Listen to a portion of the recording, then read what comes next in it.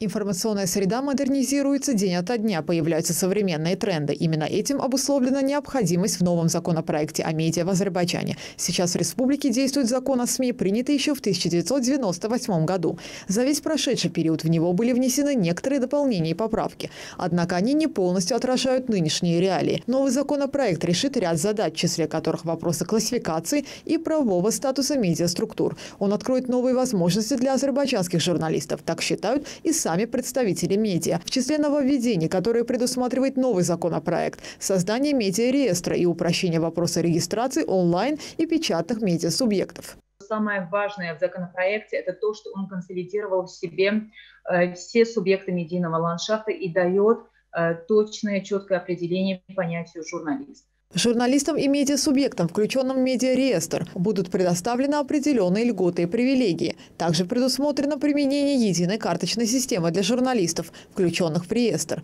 В их числе льготы на авиабилеты, использование общественным транспортом, свободный вход на культурные и спортивные мероприятия. Такой опыт используется в ряде стран мира. Эсмира Алиева, CBC.